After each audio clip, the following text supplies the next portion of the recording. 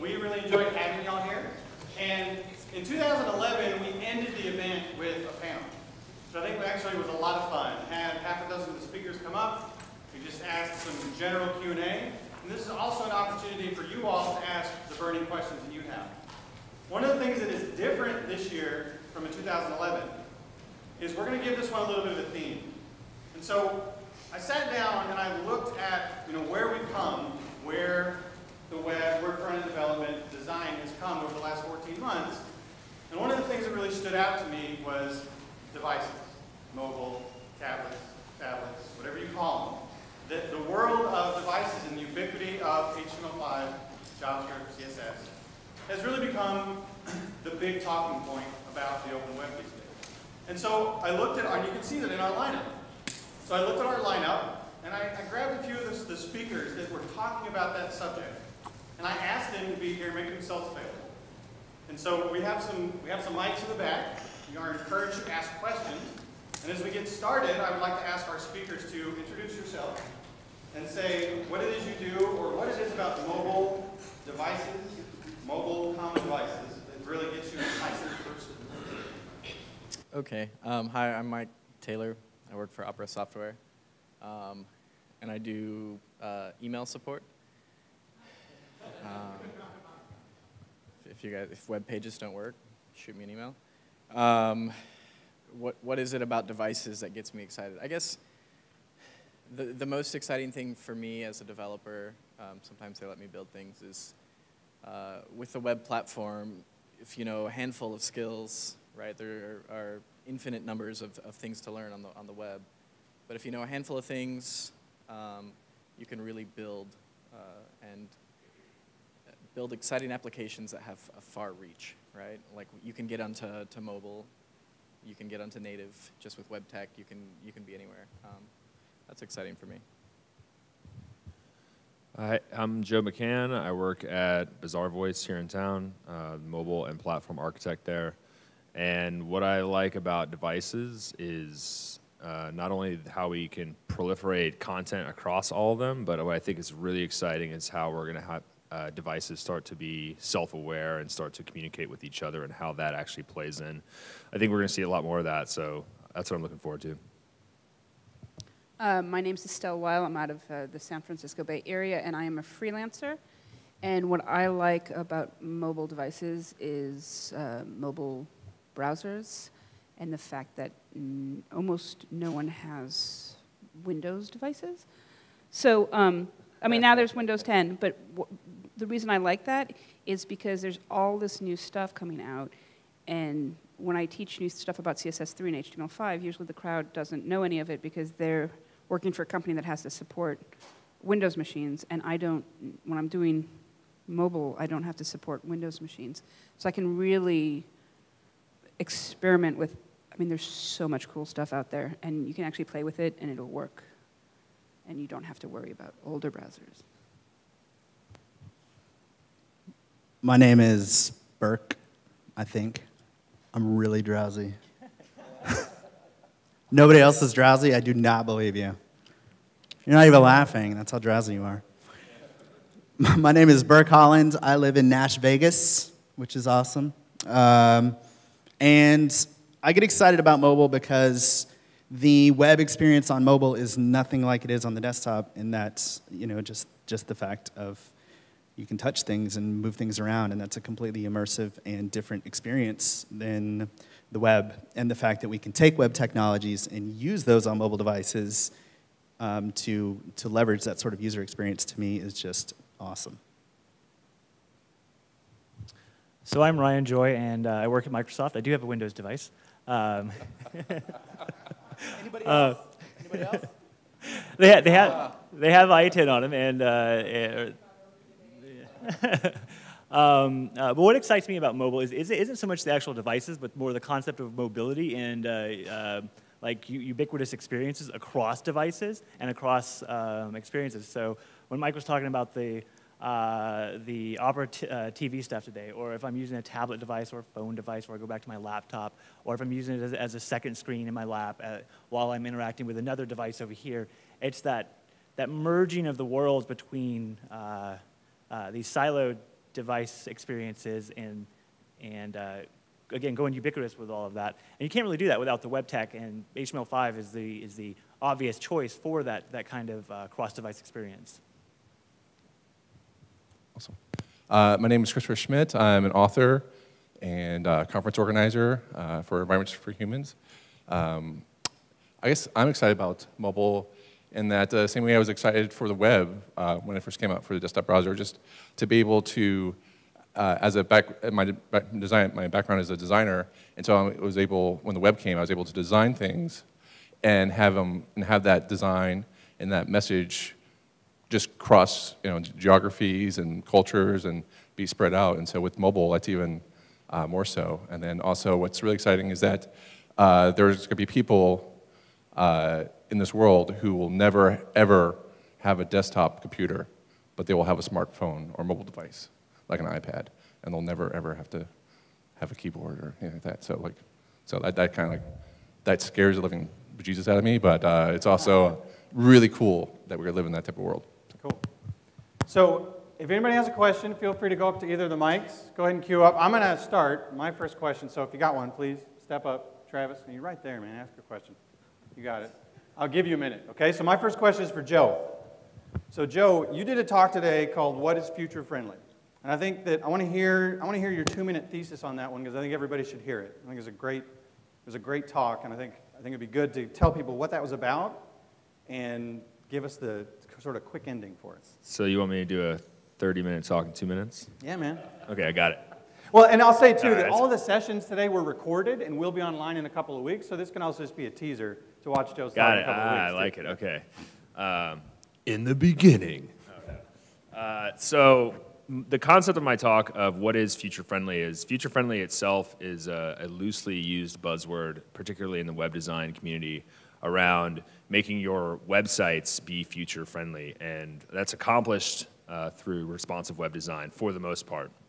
And what I was actually suggesting is, is that being future friendly with the web is one part of supporting mobile, uh, but being truly future friendly is having a content strategy that will actually target n number of devices that are internet capable. So right now we have things like the desktop web, the mobile web, the tablet web, the phablet web, the TV web, uh, but we also have things like native iPhone applications, Android applications, tablet applications, uh, smart TVs, um, even things like digital signage, where people, um, we typically as web developers and designers wouldn't think to design or develop content that would be served up on a digital sign. Um, the proliferation of digital signage, for example, is going up dramatically. So you'll see digital signs in places like airports, retail uh, environments, et cetera. So from a content perspective, it's fantastic to focus particularly on web browsers as endpoints, but I, my, my suggestion is, is to not only think of it as the primary and only single endpoint, is that the web is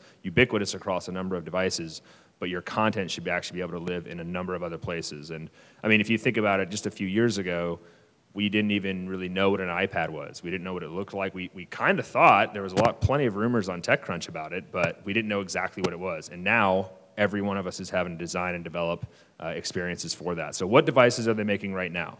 Uh, whether it's a Kickstarter project or on, on uh, behind the scenes at Apple, what are we going to have to be developing and designing for just in the next, the next couple of years? And I think if you actually create a content strategy that's supportive of any of these types of internet capable devices, um, you're, you're setting yourself up for success. How'd I do? It's great, man. Thank you. Jeffrey, you got a question? If we were to go back to 2007 and look at, you know, iOS sort of changed a whole lot of things and, and the rest of the industry came on board, and then fast forward another five, seven years, we're going to have another paradigm shift, and then another seven years. And so as we're building applications now, in your own perspective, where do you think those next paradigm shifts are? We just, we just got touch. Touch is really coming in a meaningful way. What's next? You want this, this for everybody, right? Anybody? Whoever has an opinion. Cool.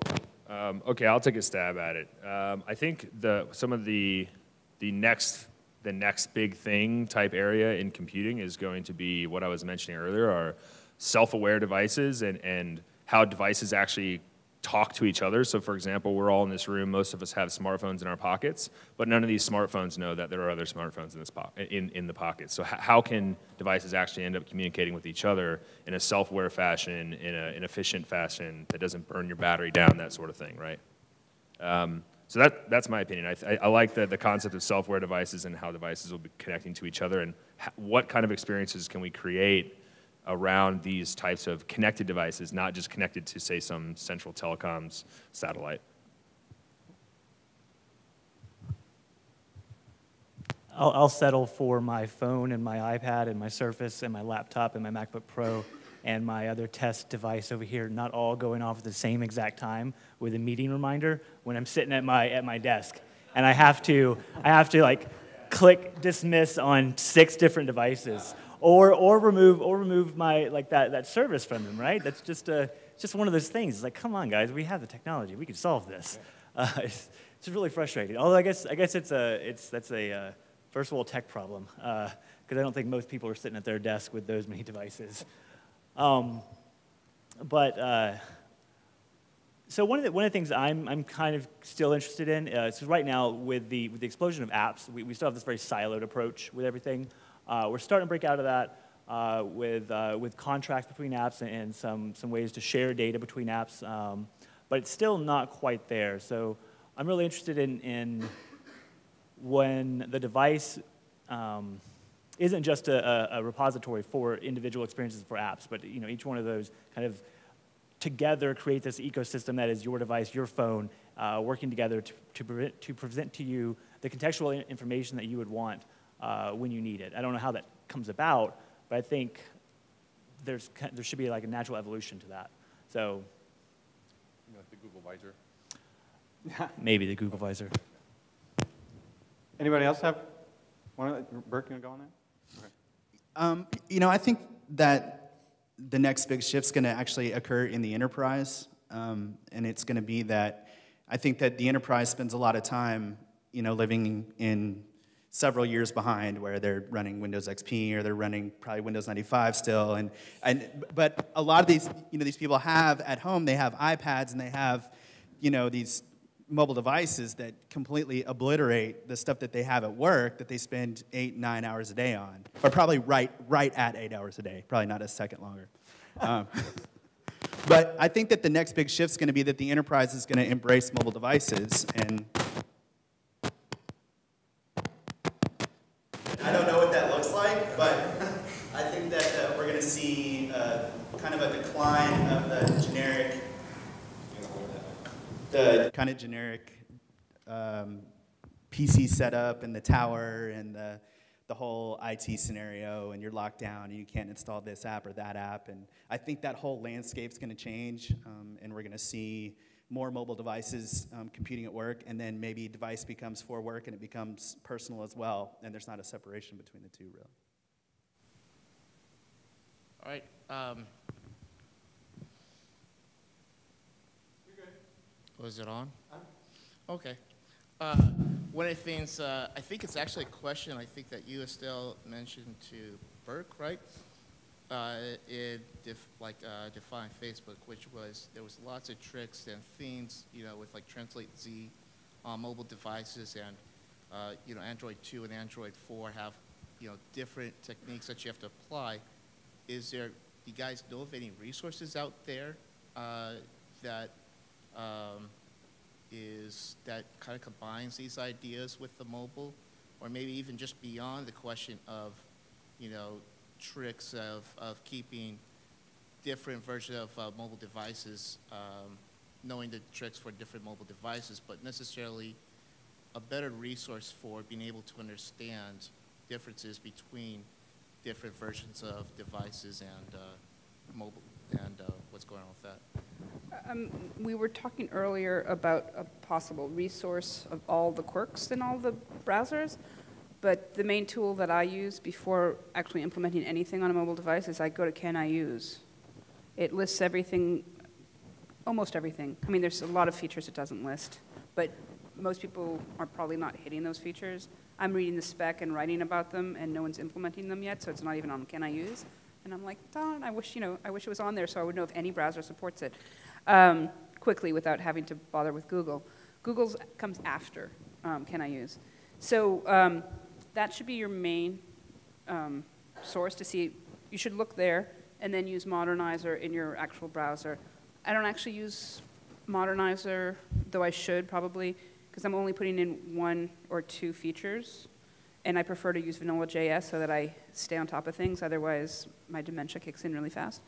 Um, so can I use, and then once you're using can I use, on the bottom it says resources, and it will say quirks, you know, things like, it'll give you three or four resources. And then you can also hit the MDN page, which is Microsoft Developer Network. And there it won't, it doesn't give you as good of a display as to which browsers support it, but it does give you the quirks, um, and it has, you know, basically it said these are the three things wrong with it.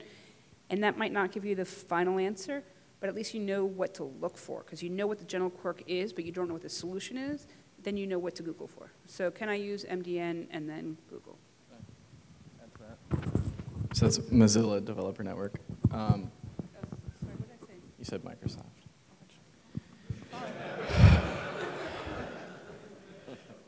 Um, what was I going to say?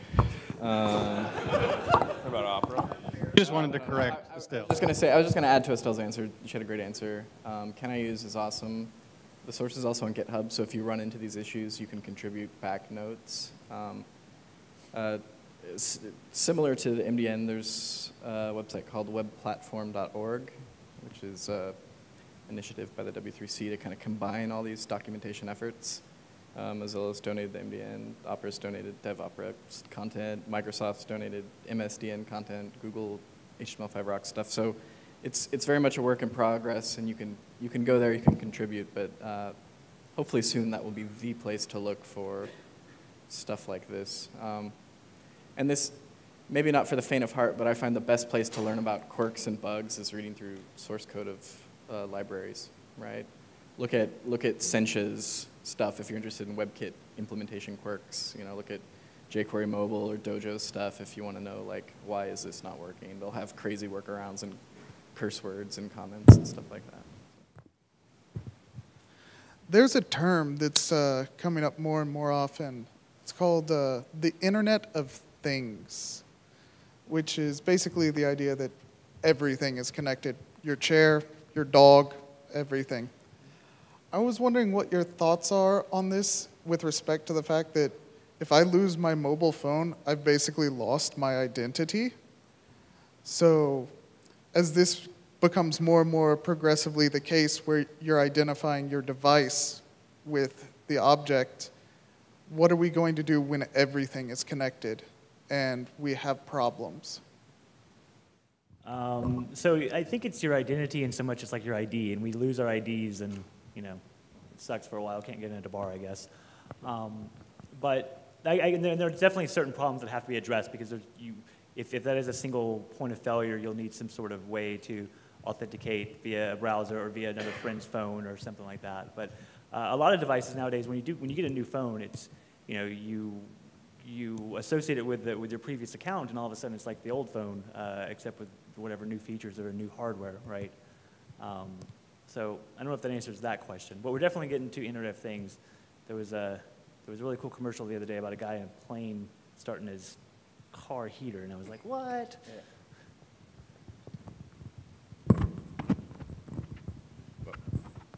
Well, I think it is really scary because uh, part of, uh, from a grad school, part of my, uh, one of my papers that I write was about like the future thinking of databases and how we're all like, all our information is in a database. And that's okay for me, but then what if the government has a database and they input things wrong? It's easy to get things into a database. It's hard to get them to modify it, to correct it. And case in point, uh, uh, my, uh, a very important a IRS uh, or a payroll company inserted my age as being 88. and so all of a sudden I was getting retirement papers and I was like, really? Wow, it's crazy, right? So uh, it took them a while to actually fix that and we, we weed it out. But then all of a sudden they sold my name and I also got subscribe, subscription stuff for AARP to everything like that. So it was really like, man, man, these people have some great deals. I'm like, sign up for them, man. Uh, so yeah. So that's just like kind of a, the fun story, right? But the, the wrong story would be like if there's something really bad happens, right? If, if they somehow the database gets messed up, uh, information gets stolen and stuff like that, or misappropriated, or the government sells information that you didn't know about, stuff like that. Uh, and you know, there's it, it, it is an issue, and I feel like uh, we as a society, society are dealing with that. This is like our first step in dealing with this type of, of issue, and you can see that as issues when we have to go deal with Congress about SOPA, about some other issues too like that. And I'm really, really looking forward to the day when we hire congressmen and presidents who have been online for most of their lives. And then that's good. That's one of the things that are going to be really awesome uh, for everyone involved. So, right. And there'll be cats everywhere. All right, Joe? Cat Yeah. gifs everywhere. I love that we're passing this mic, by the way. Um, so I, I probably have the complete opposite response to the gentleman at the end have. I actually think, uh, I actually am all about it. Um, I don't think there's anything, sir. okay, cool. Well, I, I, I think the big, the big, bigger concern I have is the attachment of fear of something like this. Like, we're all going to have these connected devices, and therefore it's scary. But it's pretty scary today for a lot of things. So, for example, if your credit score is inputted improperly, that can really screw up your life, right? It's not stopping anybody from getting a loan. It's not stopping anybody from using their credit card. Um, we use paper for medical records right now. Massive amount of error in that sort of thing, right? And then think about if you could start to optimize things like your energy usage in your home because all of these things are actually wired together. I actually think if we get past the concept that you're a, that there's something scary because all of these things are connected, we'll actually start to see the the true value uh, and and how it could actually start to really revolutionize not only developed economies but places that are. Um, that are struggling or that are, are developing, I think there's a huge opportunity to, to leverage the power of connected devices through data to empower um, up and coming areas. the other day, but it brought up an interesting point that I didn't hear too much about until then about the low end of the mobile world and the tablet world. Whereas um, most of us, we tend to have you know a fairly recent device, a year or two old, and we're happy to trade in because that's what we do. We work with technology and we like using new stuff. But it was talking about the people who, you know, average teenager who just wants a smartphone so they can talk with their friends, and they go to the store and they get the zero dollar device that's running Android 2.1 or 2.2 now. It'll never be upgraded, and the carrier's never going to support something new on it. And previously, with mobile devices, we saw pretty good uptake in new features because the devices themselves are being released and refreshed fairly quickly. But now we've got this stock of older devices that's in the market, and it remains to be seen whether you know people are actually going to be able to upgrade easily because of the kind of arms race between the phone carriers, or if they're going to stick around perpetual and there's going to be a large chunk of people who have devices that just can't upgrade. I'd just like to hear some of your opinions. Do you think that that's going to be a problem that'll reduce the uptake and reduce the speed with which new features are adopted on mobile devices, or do you think that that won't actually be a problem?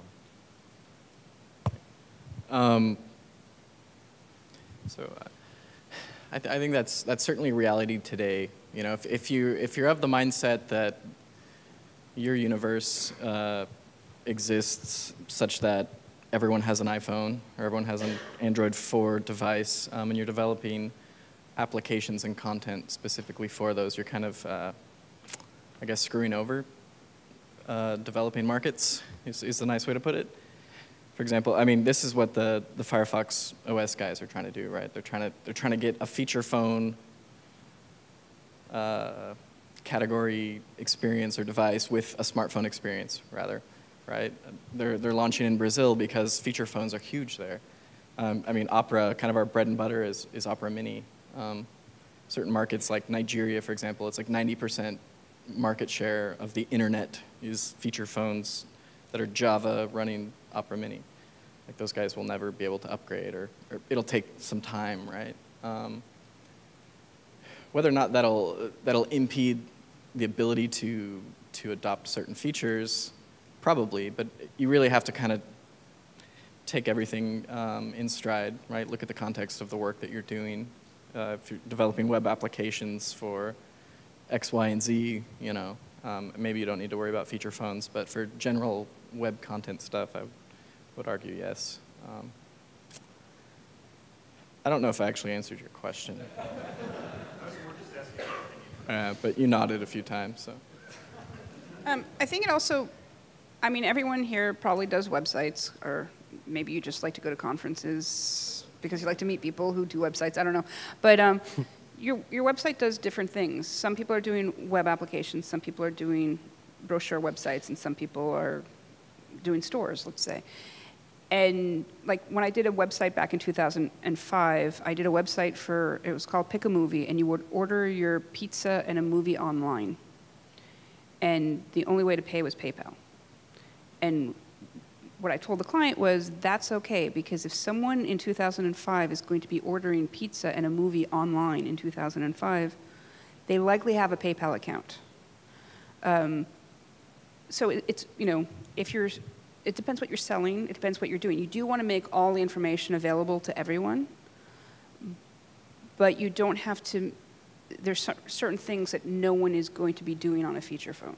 So you don't need to think about, you know, like there's certain games. Like I don't know if you're going to play Angry Birds on a feature. I don't usually. I don't. I've never played Angry Birds. So, but I can't imagine playing Angry Birds on a screen this big that you can't touch. So, it's kind of like what are you what are you doing? If you if you are providing information, if you're trying to sell something, if you're trying to sell something and it doesn't work on feature phones, then you're missing all of Africa. Um, so, you know, depends what you're doing. Sorry. But she's right. I was going to say, uh, I think this is a this is something we've been dealing with web website web application development for years. Is that is there a business case to actually end up supporting these lower end devices? Or, I mean, if you if you look at you know log data for all the types of devices that are say hitting your web servers or something, and it turns out that one tenth of one percent are running Android 2.2 or below it's a hard sell, I would think, to get someone to say, "Oh, we absolutely need to be supporting that," right? And um, I think particularly in developed areas like the United States, um, at Bazaar Voice, we have a, handful of uh, a number of uh, Fortune 500 clients, and when we talk to them about what are what are the the devices that are actually hitting your guys' sites, it's either 90% iOS or it's 80% Android, depending on on the person. And in addition to that, they're fortunately they're actually the more progressive levels of Android. So, I mean, there's no real silver bullet, I think. At the end of the day, you have to actually make a, a, business case, I think, to still support it, just like a lot of people still have to support IE6 because it's so big in China. That's a, if that's a market that you have to hit, then that's a thing you got to support, right? If people are using feature phones or Android 1.6 devices, and that's a huge you know, chunk of, of the, your users, I guess you got to support them. William, do you have a question? Yeah, sure. Um, I, I, just have a quick question because we're talking about mobile devices. Um, how do you resolve, and there are a lot of tensions between browser um, manufacturers and, and people who generate the, uh, you know, the, the recommendations from the W3C and these sorts of things, and we see all these things. How do you resolve tensions between um, these groups and perhaps the, uh, the carriers, Verizon's and the AT&Ts of the world, and do you see any reason why we should be concerned about their involvement and role in mobile development? They're holding us back. They are. I mean, they're, they're limiting our bandwidth. They're limiting the speed as to how fast we can download stuff. They're uh, limiting how much we can access a month. Uh, they're making you pay $26 a month for like three gigs. It's ridiculous. We are so backwards when it comes to other countries in certain respects. And in other respects, we've made the rest of the world backwards compared to us because of uh, the Digital Millennium Act. Um, half of the world can't download movies because of legislation that is caused by Hollywood lobbying the United States government making treaties with other governments. So they're uh, part of the problem, and uh, if they if they want to be if they're pretending to be part of the solution, my thought is I've never worked with them, but my thought is that they're only going to do stuff that is in their best interest to make them a buck. And I think all of us believe in open web standards and making everything as open as possible, which is the antith antis anth whatever of them. I had an opinion on that, sorry. Good.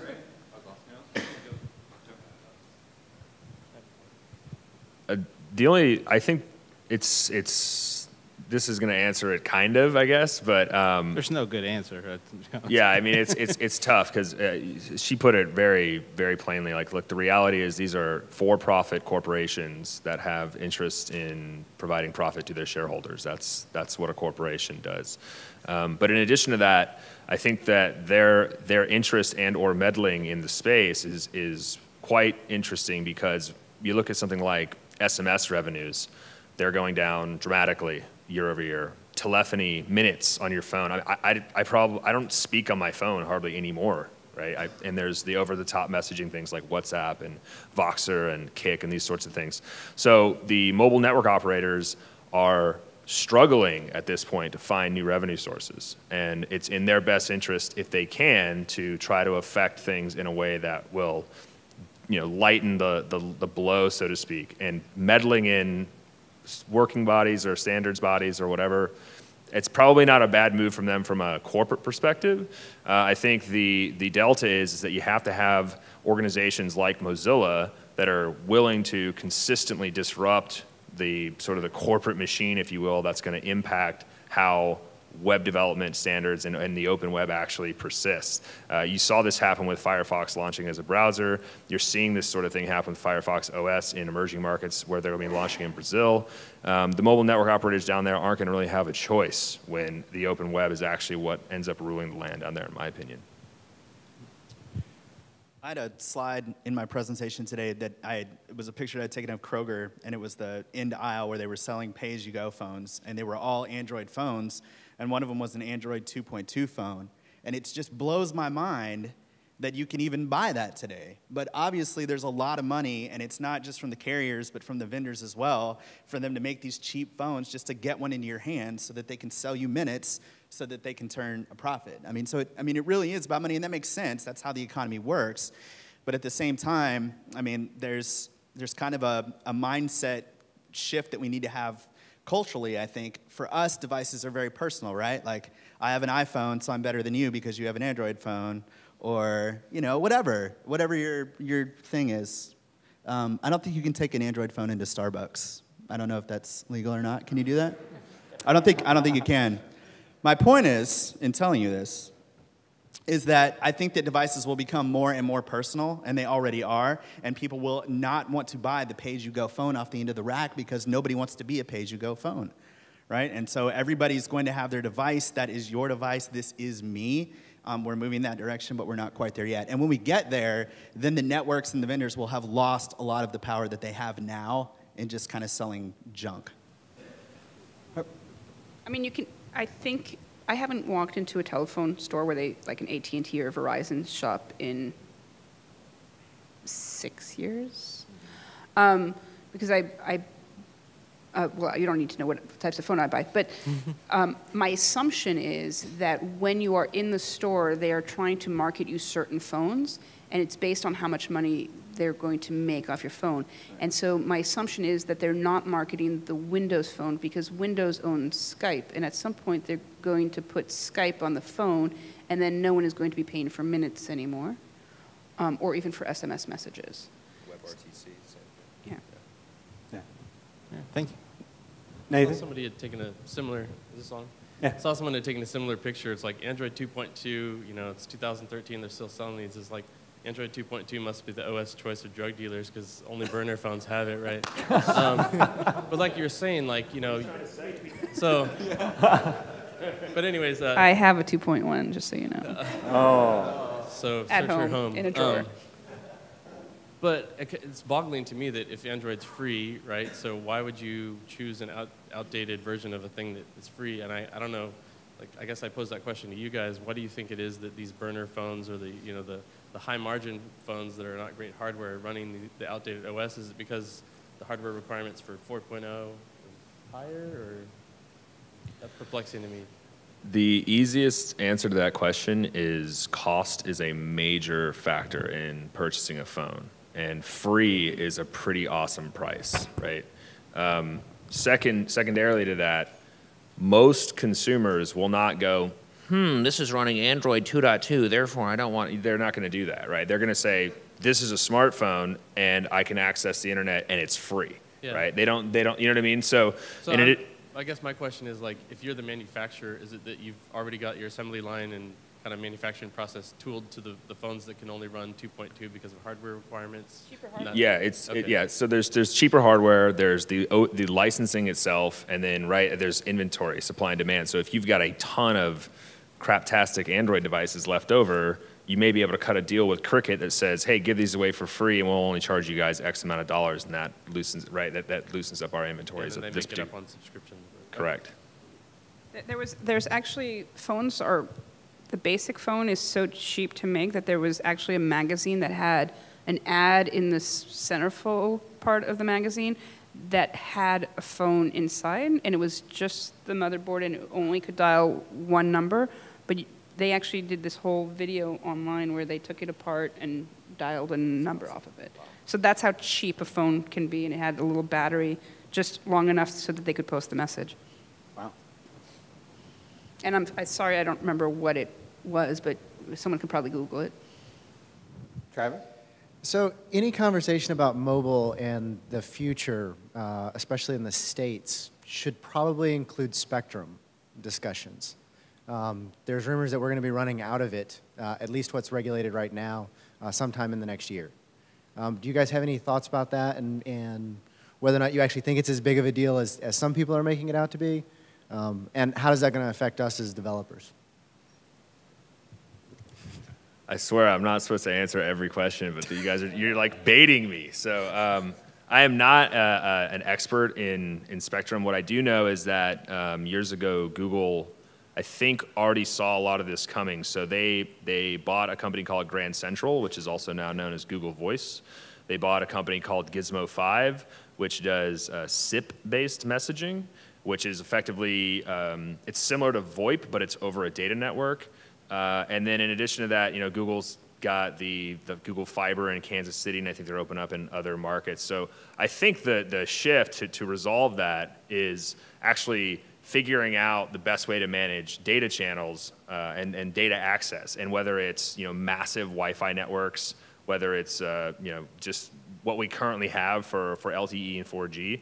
Um, ultimately, if we can get off of the concept of spectrum for telephony uh, and just shift directly to data, I think that, that that may potentially resolve that issue. And you're starting to see Google try to actually go down that route. They actually were trying to lease uh, spectrum from the FCC years ago, and then pulled out of it for whatever reason, potentially maybe too many political issues or whatever. But they were actually trying to go that route and determined that it wasn't the route for them. So, in my opinion, there's got to be something along uh, just resolving it through data, 100%, and that's probably the best best solution. I have no opinion on the matter. Just don't know anything. Yeah, I had a question on who do you think is going to be the driving factor going forward on standards compliance? Um, right now, we have, you know, HTML5 working group, but they take four years to come out with something. And then we see all these mobile devices hitting the market, really fragmenting, so there's not really a market driver anymore. I mean, I'm seeing not even, my website has less than 75% Microsoft hitting it, you know? And out of that remaining 25%, it is very fragmented, it is all over the map, and I can only see it going more and more to that. So there won't be this market driver saying this is the way it's going to be, and then the standards bodies take forever to get around to it, and I really don't want to support 20 different browser prefixes. Because now my you know, mobile device has four different browsers or five different browsers and everything else. Um, what was the question? Who's going to be driving uh, standards and making them happen? Um, you guys are. Seriously. Uh, Sass and Compass was developed, and now they're putting variables and mix-ins and calculations in CSS.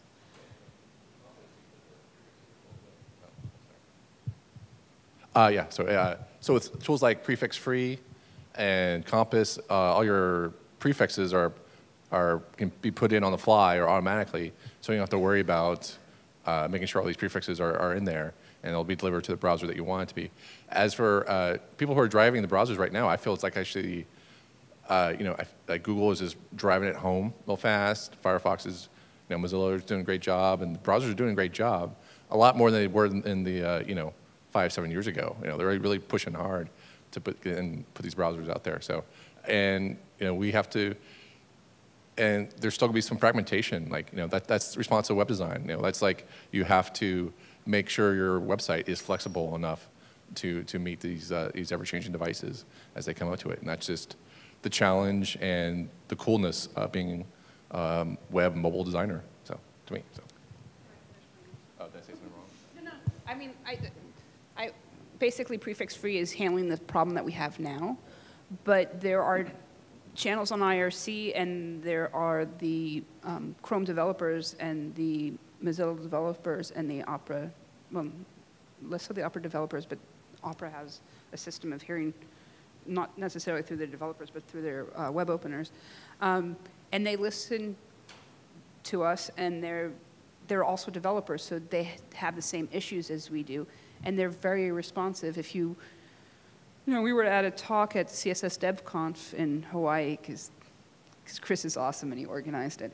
Um, and uh, there was someone who did a presentation on animation, and she had an issue, and Tab Atkins was sitting in the audience, and he's like, okay, let's put that into the spec, you know, right there. So you, we actually, Tab Atkins oh, is on the WC3 in the um, CSS working group, and he works at Chrome, um, for Chrome at Google.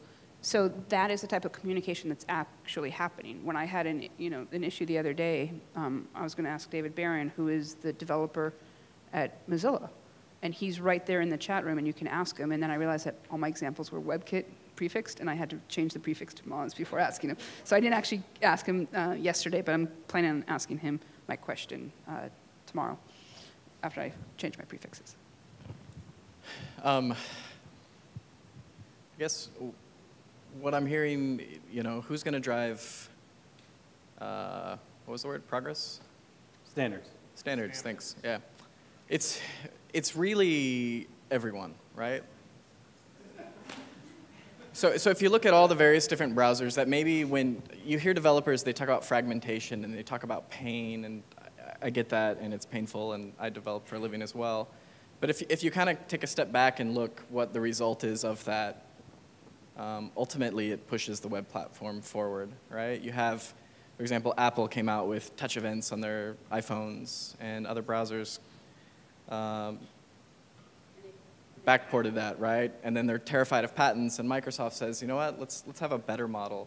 Let's do pointer events, and we'll be able to unify different devices and touch. And um, I think that's a really good idea, um, and I think other browsers will pick that up. So instead of just taking, say, okay, iPhones are great, let's just do whatever Apple wants, you have another company saying, let's try another idea, right? And unfortunately, the standardization process, it takes time, right? You have to go back and forth, and you have to kind of think through ideas and, and argue, and you have to have implementations. And um, it sucks as a developer, but um, you get paid to suffer. So, right, there's worse problems to have. Um, and ultimately, technology progresses this way. Um, web, web standards is really the answer, right? You have fragmentation, but as long as you're, if you're dedicated to sticking to the standard um, the major browsers will eventually get there to some degree, right? There's always bugs and it always sucks, but. That was also pretty much exactly what I was going to say. Uh, developing is hard. Uh, I don't think it's ever going to get easy again. There was a, there was a short time when nobody had uh, feature phones, nobody had smartphones, and everyone had IE6, right? That's never going to happen again. Um,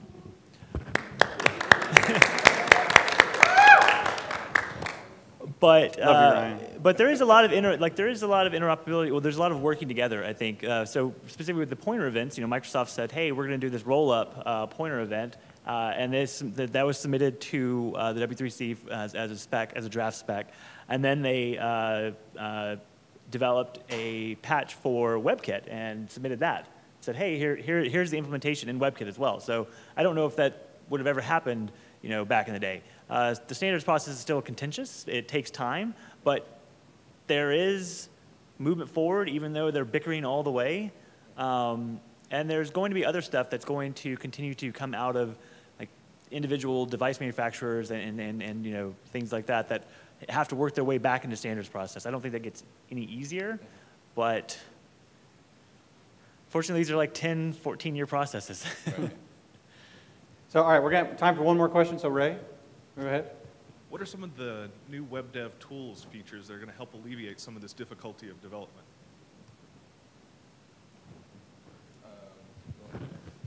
Burke? Did you have an answer? Oh, okay. so, uh, yeah, one thing that comes to mind to alleviate this pain, right? I mean, right now you have you have some really good developer tools out there. Like, uh, I think all browsers have decent developer tools. Um, I, I have favorites, um, but you see kind of a lot of cross pollination, right? This week. Um, someone figured out how to hook up the, the Chrome DevTools to Firefox OS devices, right? Because they don't have decent remote debugging. Um, that's crazy, um, but people are saying, okay, let's just speak um, that protocol and let's implement it in our devices. Um, so that type of thing, I think, is possible. Um, another, another tool that came out this week, which I think is really cool, is this, uh, what is it, modern.ie, Mhm. right? So Yeah. Microsoft says, we really want you to support our browsers, um, so we're going to make it really easy. Put in a URL, and it's going to go scan and say, oh, you, you left out this prefix, or hey, we've got these Windows 8 tiles. If you're into that, you can add this meta image thing. Um, that kind of stuff is super helpful. Instead of kind of just complaining and shaming, it's saying, here's a tool, here's some suggestions. Um, yeah, shaming's fun, right? Like I get paid to complain on Twitter and stuff like that, but um, it's, it's nice to be helpful as well. I'll, I'll say that one of the things that's, that's definitely going to help is uh, you know pushing the phone manufacturers, uh, so whom- whomever is flashing the OS on there, to make sure that the latest browser is is actually on there, um, so that the uh, what even even if you have to remote test and you, you still need to view what the site looks like, you know that the code you're writing is targeted toward a, a rendering engine that's going to uh, behave predictably, I guess, as predictable as it would in the desktop version, right? So, uh, and that may be, so with uh, Android, whenever they moved to Chrome with their, as their default browser, that was huge, right? So you're, you don't have millions of people who don't even know that they can install Chrome using the default uh, Android browser. I don't remember what the default Android browser was called. Android browser, Android yeah, which was, browser, which was terrible, um, which was just terrible browser. So the fact that a, the, a, a good browser was included as default was big. The fact that with the latest Windows phones that uh, IE10 is included is a big thing, right? Because it's like a capable browser. So I think that will be big, um, and that kind of makes it a little easier. Doesn't, doesn't, it doesn't solve the tooling issue, but it makes the predictability a little bit easier. Um, I'm a designer front end guy, so what I'm about to say probably is foreign to my to me a little bit, but uh, but I just uh, picked up uh, Divya's uh, HTML5 boilerplate book, and uh, she goes into saying like, well, there's so much stuff in boilerplate, it's amazing, but part of the stuff that's in there that I, as a front end person, I don't, I don't really know about, but is all these hooks that you can actually automate the testing process uh, when you have your site built and uh, you know, have your command line tools to actually say, okay, I'm done, let's deploy the site, and, and actually, I'll actually go through a whole bunch of series of JS checks and, um, and stuff like that, and CSS checks and all this stuff like that. So I think that's just that kind of automation. If you're if you have a good uh, developer on your on your team or you want to learn that stuff, it will help speed things up a lot. Um, and and also in terms of you know, I just wrapped up designing web and mobile graphics, and I spent a lot more time getting familiar with Illustrator and, and Photoshop uh, and stuff like that. There's just a really lot of great things that they put into these tools that we've had forever to really speed up uh, making web graphics. I mean, just making SVG graphics and having them actually show up in browser and not like a big question mark icon is totally amazing to me. But um, but I get impressed easily. But uh, it's it's kind of uh, the tools are there. We just have to you know like, and like you're asking for where they are. So but but yeah. And, and virtualized tools are available. They're not perfect, but you know there are a lot of images out there that you can run. Um, so it's not a complete black box. I think the browser developer tools are pretty like friggin' amazing um, at this point. Um, I remember when I think Firebug was the first tool that I actually used where I could actually see what was going on in the background. I was like, oh my gosh, this is I can actually like build something. This is great. And now we've gotten to the point where like we have like source maps and things like that, and we can take other languages and debug them at runtime, and we can you know profile and look at memory. I mean, we have tools for the web that I don't think a lot of like you know native developers have. A Java Explorer on a completely separate device over here. And so there's, but one, one place where we haven't really kind of cracked that nut all the way is mobile. That's still kind of a black box and it can be very difficult. But I think, um, so there's, Adobe's got Edge Inspect. Um, Estelle was telling me, yeah, I'll let her tell about the, some BlackBerry stuff. But there's, I think we're going to see more tooling in that area where we can have the same like debug experience on mobile that we have on the desktop browser, and that's really going to change things. Um, so the mobile devices, you, there's basically a debugger for most of them. There's a Weinre, just as a general um, uh, generic one, but the BlackBerry 10 uh, debugger is awesome. I mean, it really is an awesome browser and it has an awesome debugger. And this is coming from someone who tweeted when I went to the BlackBerry conference, I said, whoever um, said that no one has a BlackBerry is wrong. At least 20% of the people here do. um, but it's actually it's actually a kick-ass browser and a great debugger. There's um, Edge Inspect. There's also the Chrome uh, mobile. If you're tethered, you can debug. Um, and then there's another thing, which is everyone here has the Chrome debugger, uh, Chrome on their desktop, right? On their laptop. They're all asleep. I didn't see. I saw one hand. Okay, good. Um, I showed it in my talk today, but there's, I mean, it's just so much deeper than that. So there is a talk online that you should all watch. It's called like Secrets of Chrome or something, and it goes into the debugger. Because one thing we haven't talked about here on mobile, we've talked a lot about like what the capacity is. We haven't talked about what the limitations are, um, except for in terms of like, you know, what can't we code? one of the big limitations is memory on your device. Um, the iPhone, my first iPhone was 128 megs of RAM. You know, I'm developing on an 8 gig computer for 128 megs of RAM. Um, as developers, it is our job to manage memory for the user because it's 128 of meg, megs of RAM, but that's running the OS plus all the apps that are open, plus the browser, then your web app inside of that. So open up develop in Chrome, or, and I'm, there might be other browser um, inspector uh, debuggers that have this, but it actually shows how much memory that one tab is using and what is using um, that. And it also has like a CSS. You can see how long it's taking for your select the browser to parse your selectors. You know, figure out what selectors you are taking forever. It's only 1.3 seconds, I mean milliseconds, which isn't a lot of time. But when you account all these things that we're throwing into these, because we're basically developing these kick-ass applications because we can for a browser that has these awesome, uh, for uh, devices that have awesome browsers, but no memory um, and no battery life. So um, be aware of that and use the tools. And tools are definitely out there. They're right there in your browser. So I- would like to talk about two things really quickly that are slightly higher level than a drill down actual specific type of tool. So Netflix is a company that's done a phenomenal job with scaling uh, their their platform across loads of devices, and they do um, run an HTML5 stack for all that, which is really impressive as well. Um, and they had a, they have a really good blog post. You can find it on their engineering blog about um, there's you know 3700 plus android devices and god knows how many different flavors of android and different roms et cetera. Uh, and they realize that it just simply doesn't scale to try to get every single one of these devices so what they've done is they take something like android and they, they bucket them into specific categories and they have sort of these baseline smoke tests that they run against those and if those pass then they have a reasonable level of confidence that across all of the devices in said category will actually actually work. So that sort of leads me to my second point is um, the number of devices that we have to test against or we should be responsibly testing against is huge.